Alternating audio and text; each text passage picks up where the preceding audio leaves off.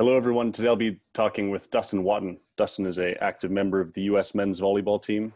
He's played in Poland, Brazil, France, Finland, and he just got back from VNL, the Volleyball Nations League.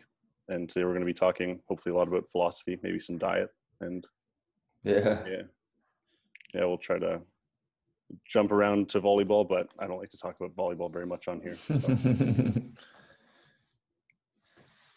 What uh, what got you into stoicism, man? yeah. So uh, it was uh,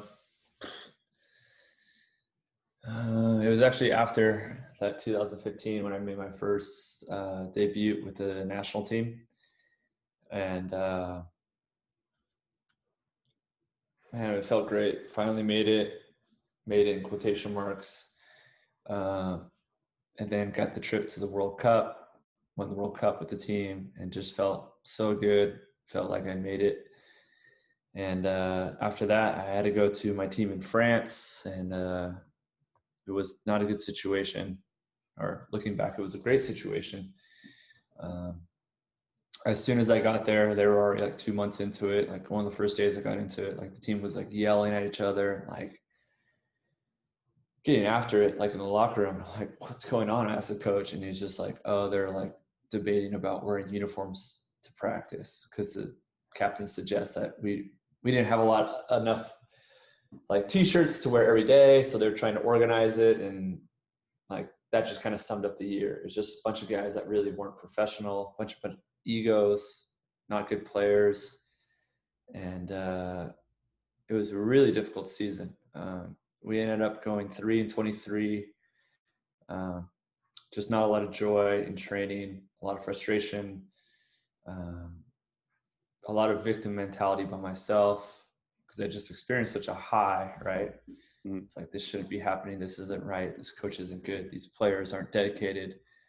I don't really have any friends. My girlfriend broke up with me. And it's just like all these things that previously made me happy. And when like I think of happy, I think of like things outside of external things, right? Or maybe like uh um like sense pleasures or maybe like joys within.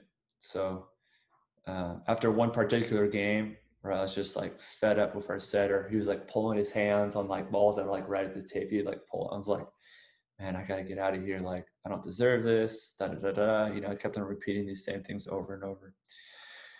Called my agent, vented to him. Luckily, he was like, I guess we could say stoic, the little S. He was just kind of like, okay, you know, relax. We'll figure something out.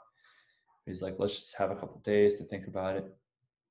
So the next day, I went to a cafe and I just had meditations by Marcus Aurelius.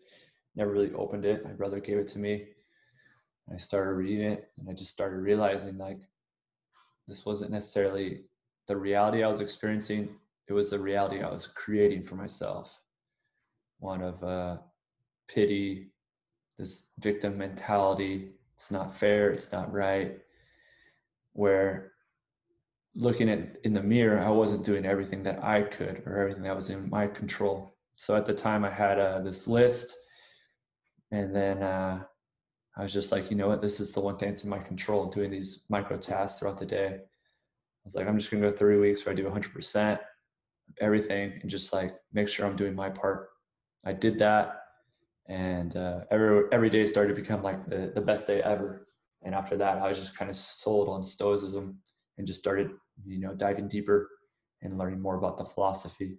But uh, it was this thought of uh, kind of reaching salvation and then going quickly back down to darkness. And then this was a tool to kind of pull me out of it while going uh, within rather than um, hoping something outside of me would save me.